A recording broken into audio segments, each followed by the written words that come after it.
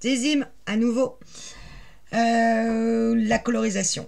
Alors, beaucoup font des colorisations à l'aquarelle avec des poudres aquarelles et des pinceaux. Euh, moi, je les admire, ils font des trucs magnifiques. Moi, je suis incapable de me servir de pinceaux, aussi fins soient-ils, pour coloriser des tampons tels que ceux-là. Donc, moi, j'utilise des crayons aquarellables. Vous voyez que j'en ai euh, quand même une petite euh, collection. et je ne prends, j'en ai testé pas mal. Alors, commencer par les, crayons aquarelles d'action, ça me paraît très bien à force d'en faire, c'est vrai que euh, au niveau pigmentation du crayon de couleur, moi je suis une adepte des Albrecht Dürer de Faber-Castell. Crayon aquarellable. Albrecht Dürer de Faber-Castell. Il en existe 120. Euh, je ne les ai pas tous, mais je les ai commandés au Père Noël. Euh, il existe aussi d'autres crayons de Faber-Castell qui sont les polychromos, mais ceux-là ne sont pas aquarellables. Existe aussi, enfin vous allez voir qu'il en a, il y en a plein, plein, plein de différents. Moi, les Albrecht Dürer de Faber-Castell, c'est vraiment le ceux avec lequel je travaille le mieux. Donc, je reste sur cette base. Et j'ai besoin d'un pinceau à réserve d'eau. Voilà. Quand je travaille et que je fais de la colorisation, j'ai toujours des mouchoirs à côté de moi parce que je vais passer mon temps à euh, essorer ou euh, nettoyer mon pinceau. Donc je le mets à côté. Pour cette partie de colorisation, je vais d'abord m'amuser à coloriser tous ces tampons-là. Et là, franchement, je suis pas plus intelligente que les autres. Moi, je me sers toujours des modèles qui a au dos euh, du tampon et j'essaye de me référer par rapport aux couleurs qu'ils ont mis, même si je mets pas tout à fait les mêmes parce que bien évidemment ça c'est fait avec de l'aquarelle et ils donnent leur couleur d'aquarelle et je ne les ai pas. Euh, donc j'ai fait plusieurs tests de crayons sur un petit papier à côté, j'ai regardé à peu près les couleurs et je dis bon ok j'ai sélectionné quatre couleurs en l'occurrence ici quatre crayons différents que je suis venu bien tailler parce que j'aime bien travailler avec des crayons très taillés. Et la première chose que je vais faire, c'est euh, remplir comme un coloriage mes tampons avec du crayon en mettant plus ou moins de crayon à des endroits si je veux faire des effets plus ou moins foncés, plus ou moins pigmentés ou pas. je vais commencer par euh, le vert euh, en l'occurrence et je vais aller crayonner ma feuille. Alors inutile d'appuyer, hein, il faut juste faire glisser la mine sur la feuille. Je fais exprès de ne pas en mettre, je vais ranger ça, vous verrez mieux.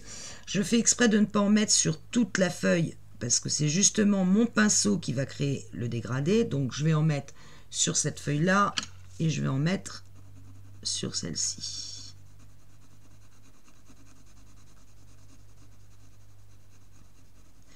Et je laisserai le pinceau après faire le dégradé, l'étalement de couleur.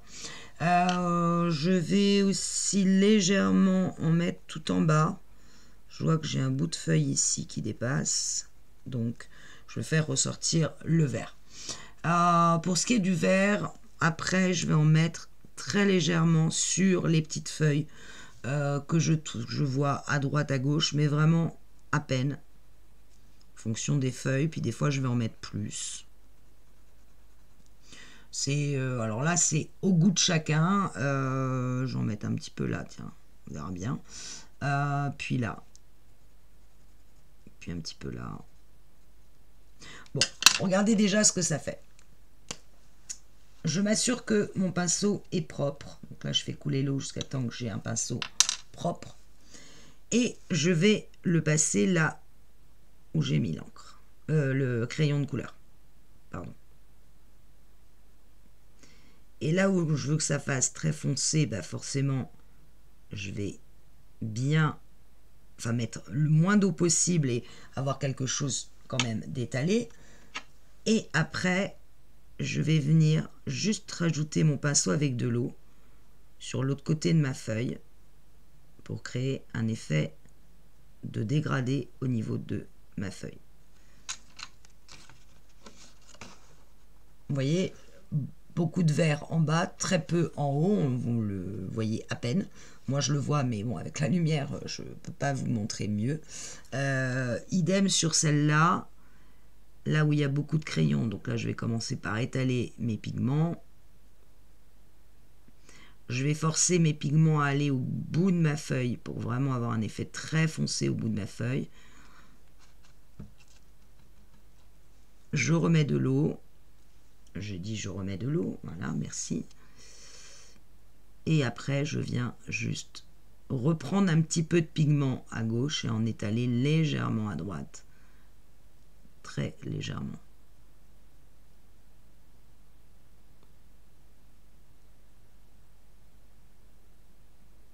C'est tout bête en fait, hein. c'est du coloriage et après avec l'eau vous venez euh, faire les effets que, que, vous souhaitez. Vous voyez ma feuille en haut, j'ai pas la même colorisation, enfin la même, euh, c'est pas uni, euh, c'est légèrement dégradé par endroits, moins à d'autres. là, bah, je veux que ça soit quand même assez vert, là pas beaucoup moins. Donc je vais enlever, je vais mettre beaucoup d'eau et peu de pigment. idem ici je veux un effet vert clair là j'en ai mis ici je veux quelque chose d'assez uni.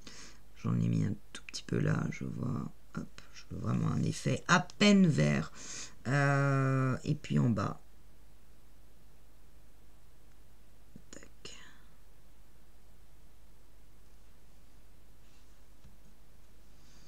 Éventuellement si je veux rajouter, c'est-à-dire que je trouve que c'est pas assez vert, pas assez foncé. Je prends mon crayon vert, je prends mon pinceau et je vais venir directement prendre l'encre sur la mine. Alors attention, là ça va forcément bien foncer la feuille, vous voyez? Je sais pas si ça se voit, tout de suite on... Donc après je vais venir de nouveau retravailler mon pigment pour que ça fasse quelque chose de plus fondu mais ma feuille s'est beaucoup foncée à la base. J'en reprends un petit peu, je fais pareil de l'autre côté en haut. J'en ai pas pris. Voilà. Et là, j'accentue fortement ma couleur. Comme je veux pas que ça fasse vraiment une, euh, démarcation euh, entre le clair et le foncé, je viens retravailler à l'intérieur pour remettre un peu de piment, mais que ça fasse quelque chose d'assez uni tout en étant quand même assez marqué dans le bas. Je vais faire la même chose, je vais crayonner à droite à gauche avec mes trois couleurs et je reviens vers vous. Voilà, je suis venue colorier euh, avec mes crayons l'ensemble de mes, étoiles et de mes flocons. Euh, vous voyez que par endroits j'ai mis de l'encre et parfois, euh, enfin du crayon et pas d'autres. C'est mon pinceau qui va essayer de relier tout ça et de faire des effets plus ou moins foncés, plus ou moins clairs, plus ou moins fondus. Euh, alors je vais commencer par le haut et puis je vais, euh, je vais descendre. Donc je commence par l'endroit où j'ai mis le moins de couleur et je descends mon pinceau. quand j'ai trop d'eau, j'en enlève. Là où je veux qu'il y ait le plus de couleur, en l'occurrence là, ici, à la base. J'hésite pas à venir essuyer mon, pinceau. J'ai mélangé plusieurs types de, bleu. Donc euh, tout ça va se marier. Euh, là où il y a de l'eau, bah, ça, ça peut fusionner, ça peut faire des effets de fusion, c'est-à-dire que l'encre va se. les pigments vont se mêler les uns aux autres.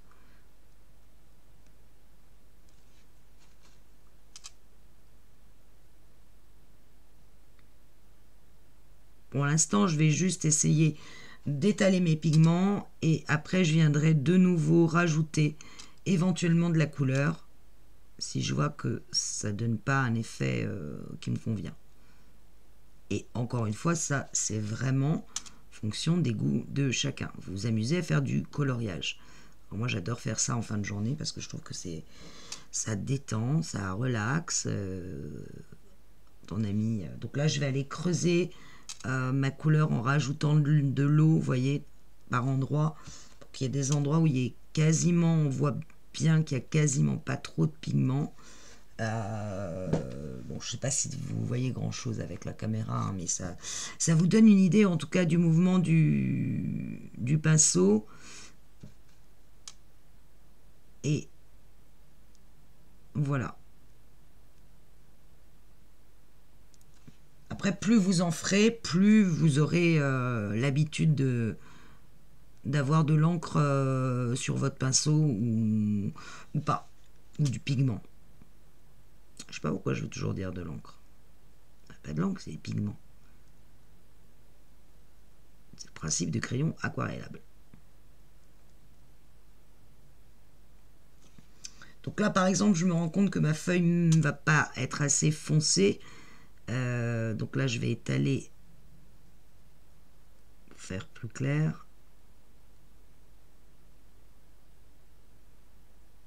Bon, je suis pas du tout pro dans le domaine. Il y en a qui vous diraient oh là là, faut pas euh, commencer par les couleurs foncées, faut commencer par les couleurs claires, ou l'inverse d'ailleurs, hein, parce qu'il y a, vraiment plusieurs écoles. Moi, je dirais que c'est par habitude de ce que je fais que maintenant je, sais que je peux. L'intérêt de l'aquarelle, c'est que vous pouvez toujours refaire. C'est-à-dire que si vous remettez de l'eau, vous remettez euh, du pigment, euh, c'est vraiment un plaisir. C'est que si ça vous convient pas, vous attendez que ça sèche et hop, vous remettez de l'eau et hop, vous remettez du pigment et ainsi de suite.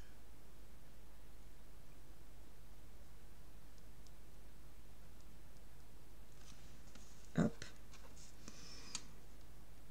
Là, je veux que ce soit du plus clair au plus foncé. Espèce de petits flocons, euh, plein de petites boules là.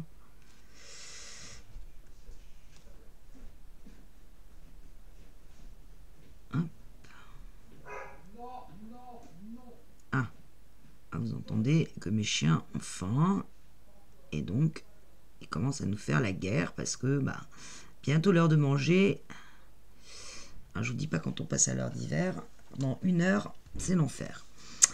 Euh, je vais attaquer quoi? Je vais attaquer, tiens, j'avais oublié ici, il y avait du vert, donc je vais aller le retravailler. Et il y avait une grosse feuille verte que j'avais pas vue.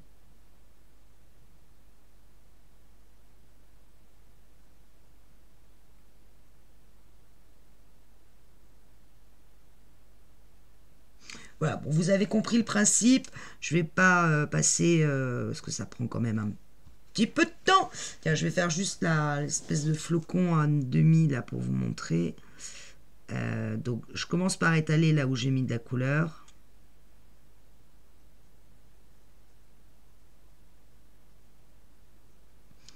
Je veux vraiment quelque chose qui soit très fondu pour le coup ici. Donc je commence déjà par étaler mes pigments avec l'eau. Et après, je vais rajouter juste de l'eau sur les parties blanches. Et je vais venir mélanger le tout. Je mets de l'eau sur les parties blanches. Et je viens de nouveau rétaler mon pigment qui va naturellement aller là où il y a de l'eau.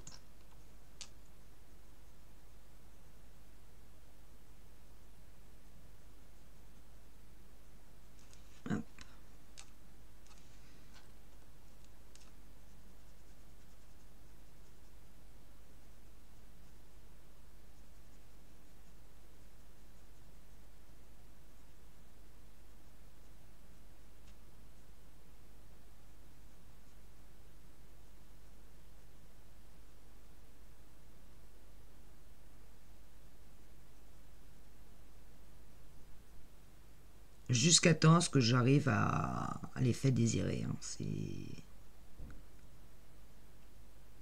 Ça peut varier.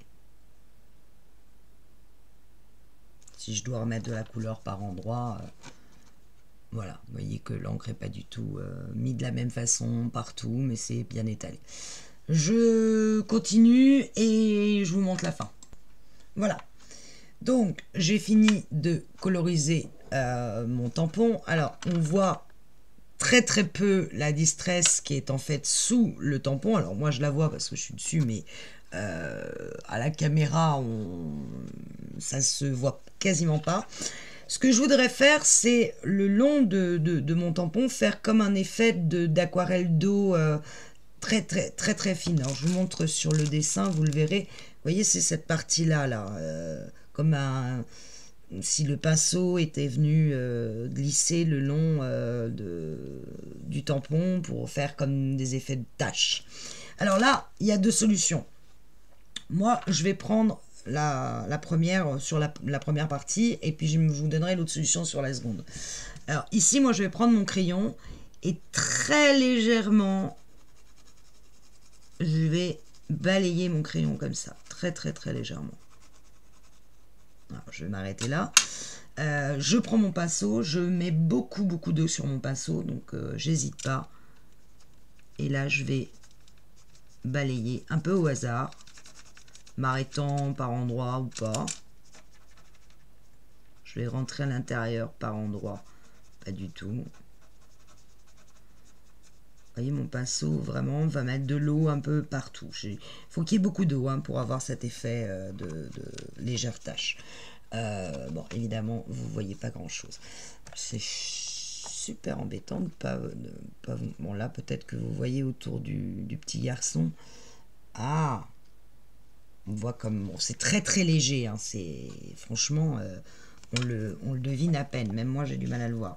Euh, mais je sais que c'est là, et éventuellement, si je trouve que c'est pas assez marqué, je reviens avec mon crayon. Et là, il y a de l'eau, donc forcément, il va marquer beaucoup plus.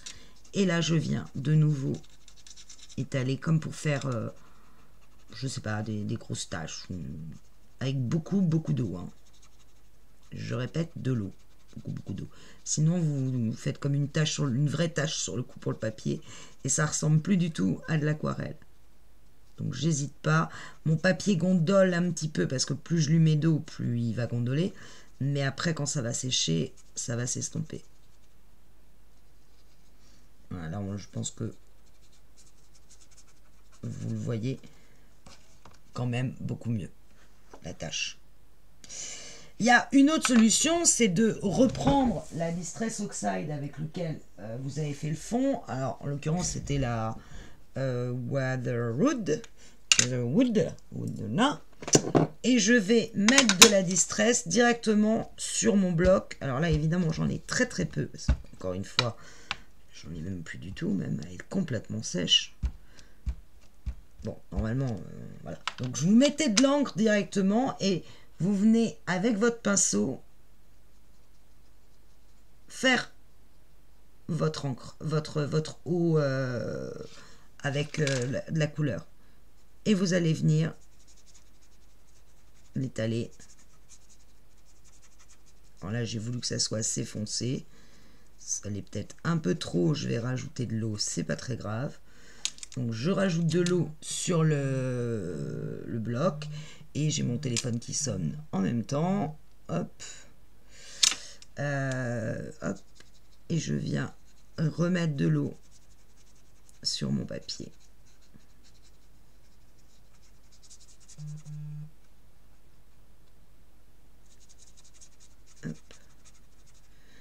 pour continuer l'effet d'ancrage que l'on avait fait euh, précédemment. J'hésite pas à rentrer à l'intérieur de, mon tampon. Hop alors là, c'est venu, euh, quand j'ai rajouté du, crayon, c'est venu faire des marques en fait sur le papier. Donc ça, c'est une erreur de ma part. Mais c'était pour vous montrer les deux techniques. Vous pouvez le faire aussi bien. Alors, Là, c'est de la Distress Ink, ça marche moins bien que la Distress Oxide, mais euh, voilà, vous mélangez de l'eau avec un peu de Distress et avec votre pinceau, vous venez tamponner votre dessin jusqu'à temps d'avoir l'effet aquarelle recherché.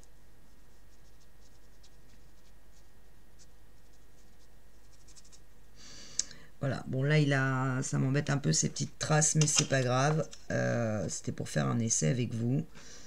Euh, j'aurais pas dû remettre de crayon, j'aurais dû remettre du crayon peut-être uniquement sur, euh, sur mon pinceau. c'est pas très grave, je vais attendre que ça sèche, je vais voir ce que ça donne une fois sec. Et sinon je viendrai rajouter des petites taches carrément une fois que ça sera sec. Mais pour ça, il faut que ça soit complètement sec. Je vais quand même en rajouter un peu ici un peu d'eau par là, un peu d'effet d'eau par là.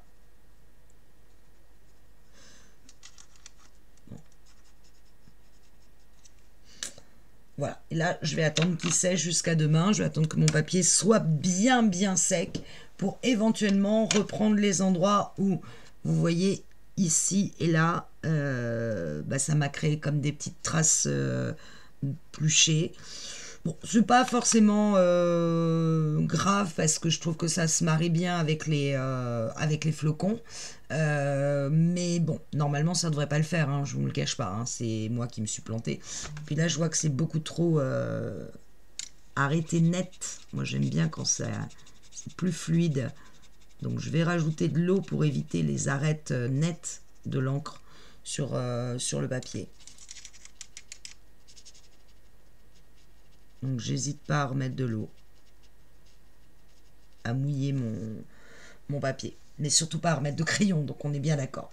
On va attendre que tout ça sèche tranquillement et on reprendra cette partie-là après. Bye bye.